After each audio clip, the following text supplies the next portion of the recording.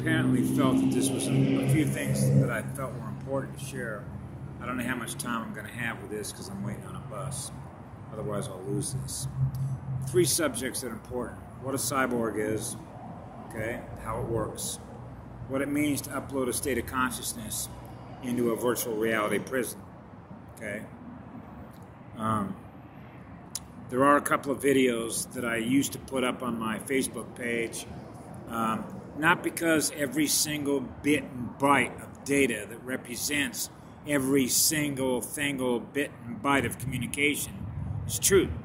Okay, but what is true is the nature of how it works. Okay, uh, if you will, a Borg, what a Borg is, what a hive mind is. Now, the simplest way that I know how to explain that is with a beehive. Okay, worker bees, queen bee. They obey the queen. They perform a function, right? What is that? Pollinate flowers.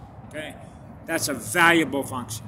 Okay, again, we're back to the value of the function, the value of what love is, the value of what love is in living spirit. Okay, that's what I call a basic benchmark baseline of who we know who we are. Okay, we're living spirit. That's why our DNA is alive and living. Okay? We don't allow anything to hold us captive. Okay? Why is that? Because we represent Source, the source of all creation. So you can't hold Source captive. You can't upload Source. So you can't upload my state of consciousness. Okay? Because it's universal, it's massless. Okay? You can't upload something like that. Okay?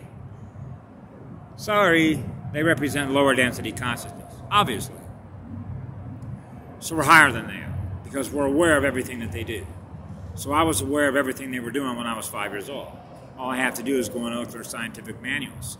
As a matter of fact, all their computer systems that they developed that everybody's now using, I saw those being developed and in place, what we're experiencing right now when I was five years old. That's the future of me right now, communicating back to me when I was five, what I'm going to experience right now. Okay? That's called a speed transmission.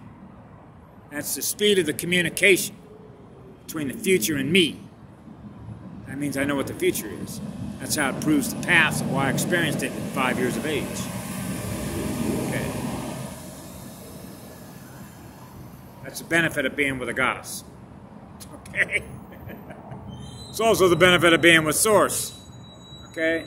You're not ever going to consume a goddess. Okay. You're not going to upload a goddess into your machine. Okay. It's like, man, figure it out, will you? Um, so you got to you do got to have a sense of humor with these characters because that's exactly what they are. They're demons. So what do you think a demon's going to do when it learns how to use computers? Like Apple, the Singularity University, NASA, which means Nazi. Okay. Lockheed, Boeing. Okay. All these companies that are corporations are parasites. It's parasitic consciousness. Okay, so everything that they develop, everything they use with their knowledge, okay, means that they got to feed on us. They got to hold on our light, capture it in order for them to do what? Go on. The only reason they exist is because of us. Okay? Because we became, we were here before they were here. Okay? So we can uncreate what got created. Okay? That's source. They know that. They don't want you to know that. They don't want you to know who we are. Sort of like guardians, if you will. We protect what love creates. That's the essence of it. That's the truth of it. Okay? They know that. That's why they target us. They knew exactly when we were coming in here. Okay? That's Max Spiers. Max Spiers is a super soldier. They killed him too. Okay? Um, that's one of the reasons, by the way, that they were releasing all the higher gamma radiation energy out of the nuclear power plants. Okay? And that's why the radiation is up on the planet. That's why they blew the ozone hole. That's why everybody's getting hit with ABC. Okay, this gives you the nature of who it is we decide to plug into. Because we're plugging into their energy, which is their density consciousness. Okay. So it's just like, get out of here. We're not giving you any more of our energy. We don't want to be a part of your system. How do you do that? Create your own place, create your own reality. They don't want you creating anything. They want you to use us as slaves to them, which is lower density consciousness. How do you break out of that? By creating something different. How do you do that? Infinite imagination. Imagine another place that you're living in. So the more that you open up your heart and realize how creative you are, you are empowering your own energy. You're realizing the creative side of who you are because they don't have that. They're a reptile. They're not a mammal. As a matter of fact, one of the things that they do to their children is they deliberately abuse them. You know why that is? So that they're hardwired to the reptile brain, so they don't experience the mammal brain and they don't experience what love is.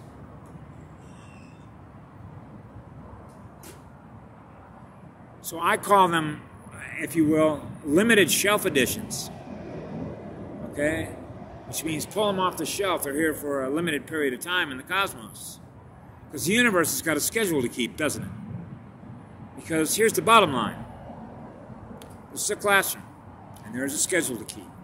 Why is there a schedule to keep in the lower dimension where the classrooms are? Because the purpose of a classroom is to do what? Produce energy service providers, isn't it? All you got to do is look around at all the stars. All you got to do is just know, by virtue of the girl on the planet, all the energy provides for everybody that's here in this classroom. How do you think she got so big? This is logic. So, therefore, the purpose of a classroom is for people to learn how to become a self sustaining, energy service provider, which means you're not a parasite. You're an energy producer. So the more energy producers, in which they're self-sustaining, because they're receiving more energy, what it is that they are, that the universe is giving back to it. Now you're growing your light body. now you become a powerful being. Because the amount of love that you can use through your heart in order to heal others and grow your spiritual body means you become a very powerful spiritual being. And you connect with everything else in the cosmos. Okay? You move on. so there's more of us. There has to be. How is the universe going to expand itself to you know, infinite experiences that are beautiful to experience if there isn't more of us? That's the purpose of the classroom. So when classroom is dismissed, bye. Okay? So anyway, my bus is here. I love you all. Have a great day.